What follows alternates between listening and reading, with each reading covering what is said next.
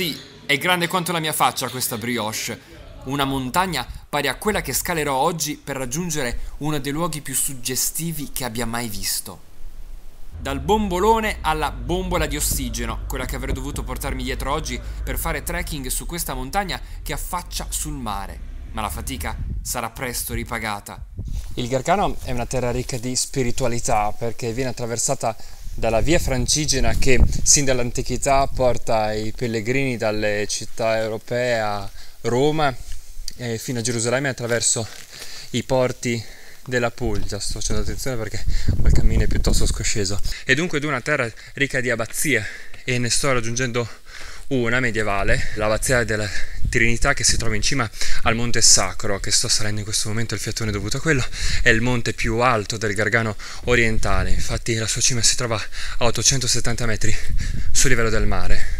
Camminare per il Parco Nazionale del Gargano, come sto facendo in questo momento, con un po' di fatica, significa attraversare un vero e proprio giardino botanico, perché si contano circa 2200 specie vegetali diverse. Su questa montagna sembra che siano piovuti meteoriti ma l'elemento più alieno risiede sulla vetta, nella fitta vegetazione. Ed eccola l'abbazia della Trinità su Monte Sacro. Sul Gargano il culto dell'arcangelo Michele cominciò già dal V secolo e proprio qui, nel luogo dell'abbazia della Trinità, apparve per la prima volta l'arcangelo Michele al vescovo di Siponto nel 490 d.C. e qui gli indicò la grotta a Monte Sant'Angelo dove erigere un luogo di culto della cristianità. I monaci benedettini arrivarono attorno all'anno 1000 e già attorno al 1100 venne eretta questa abbazia e cadde in disuso attorno al 1400. L'abbazia è in stile romanico come si vede dai volumi massicci dalla volta a crociera, dal portale e dai dettagli decorativi.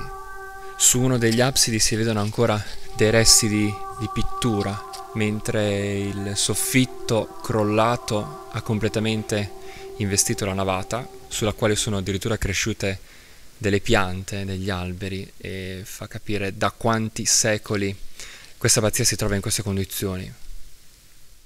Come promesso, vi spiego come mai i monaci a un certo punto ebbero la necessità di mettere le ali.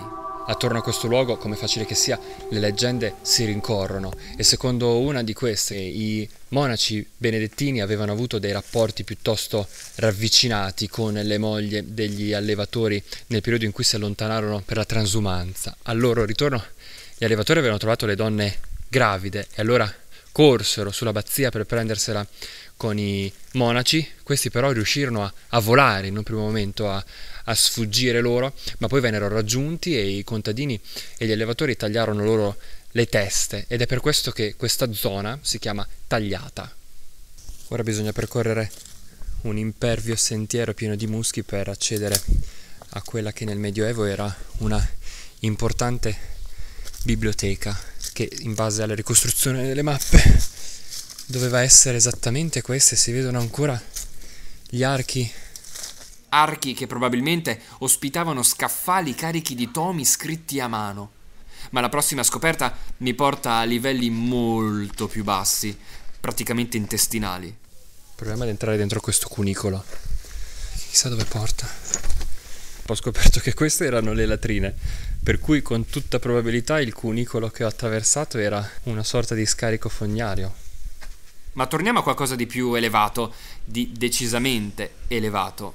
Questo era il portale d'accesso principale all'abbazia e la dimensione di questa parete fa capire il bisogno di difesa che avevano i monaci benedettini. Ma nulla li ha potuti difendere dalla caducità umana e i resti di due confratelli rimarranno qui a difendere la loro dimora per sempre.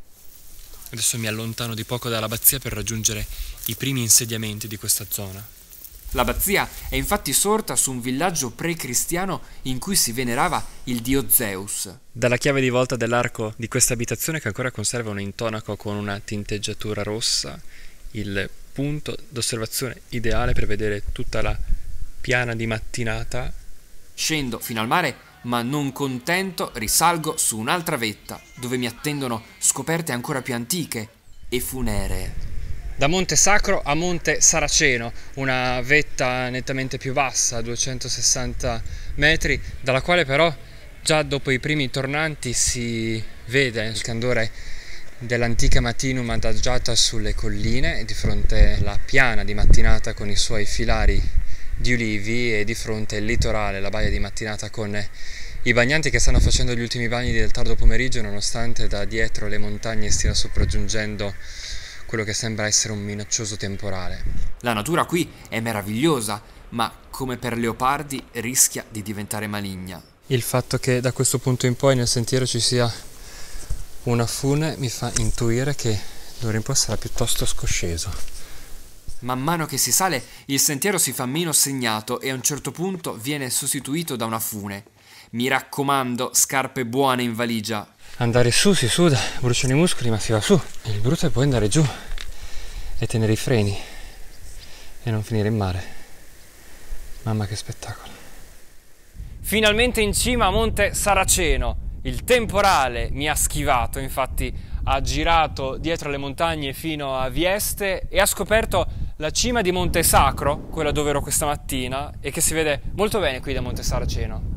Perdonatemi se indugio ancora qualche istante su questa inquadratura, ma un fondale così, con una luce così, non penso mi ricapiterà a breve.